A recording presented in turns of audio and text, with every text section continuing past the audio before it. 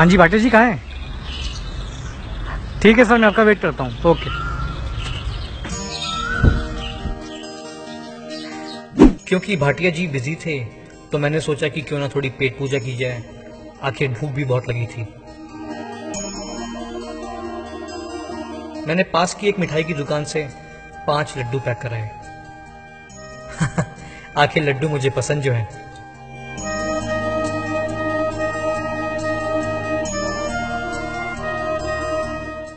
उस दिन बहुत गर्मी थी और मैं काफ़ी थका हुआ था।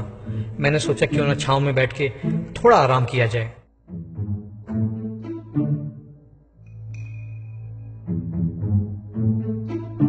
मैंने अपने ईयरफोन्स लगाए और नॉवल पढ़नी शुरू कर दी।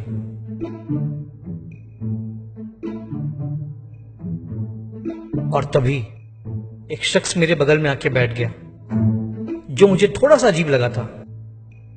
खैर छोड़ो मैं फिर से अपनी नॉवल पढ़ने में बिज़ी हो गया।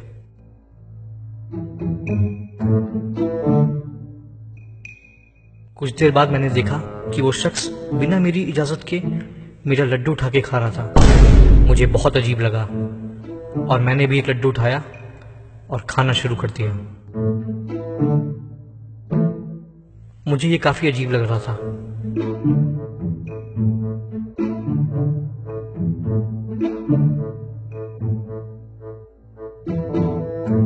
ये क्या? फिर से।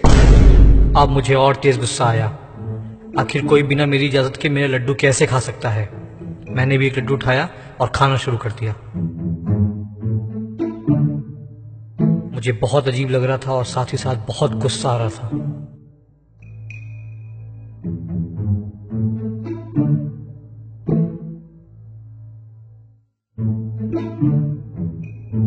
खैर, मैं सब कुछ भूल के फिर से अपनी नॉवल पढ़ने लगा।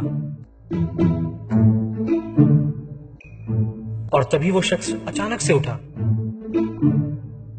उसने वो बचा हुआ आखिरी लड्डू उठाया और आधा मुझे दिया।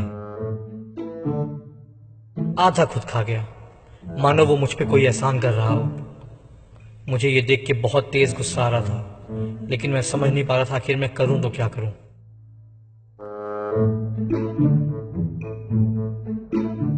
खैर, मुझे लगा मुझे अब चलना चाहिए। ये क्या? ये लड्डू का पैकेट तो मेरा था। इसका मतलब अब तक मैं उस शख्स के लड्डू खा रहा था और उसने मुझे एक बार भी टोका तक नहीं।